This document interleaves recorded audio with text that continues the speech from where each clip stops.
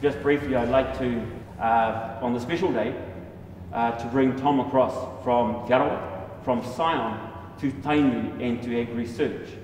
And so from our board's point of view, uh, we're very pleased to be here with Tom and his family to hand him across to Tingi. But be assured, he is a very, very competent, capable guy. And Sam, I think you guys have got a real, real um, winner here. It's no secret that uh, when we engaged the search firm to, to replace Dr. Andrew West as Chief Executive of AgResearch, we said this is an international search. You know, don't just muck around in New Zealand or in Australia. You go to the Northern Hemisphere. There may be expats up there. You go to America. You go to the places of high technology. You go to the places of growth of progression of science. And they found the boy next door. You're not getting it back.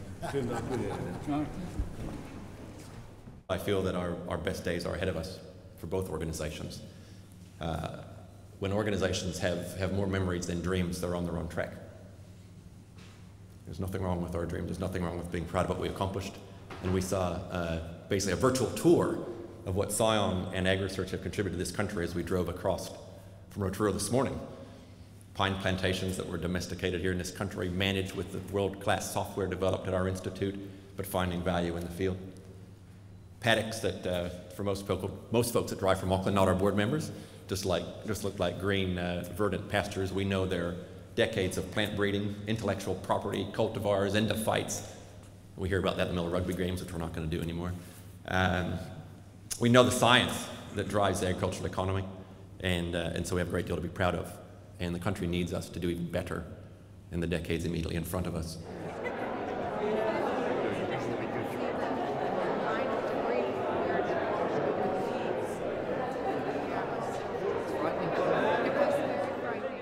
He saw the light and came to New Zealand in 1990 to do a math technology fellowship. And that actually was run uh, at the University of Auckland in molecular biology. And in fact, when the CNIs were formed in 1992, uh, Tom actually was in AgResearch. So welcome back, Tom. Really. and he's been in Scion for 18 years. Uh, basically as a scientist in uh, forestry molecular biology, and then moving on to the senior management team, I think in 1998, Tom, and then chief executive from uh, 2005, obviously to 2010. Uh, Tom's also was a chief in the CSIRO Forest Products Division for some time in 2006 and 2007. And uh, of course, he's on the foundation board and also on the council of the uh, um, uh, Polytech. My focus from now until Christmas is going to be what I call a diagnostics.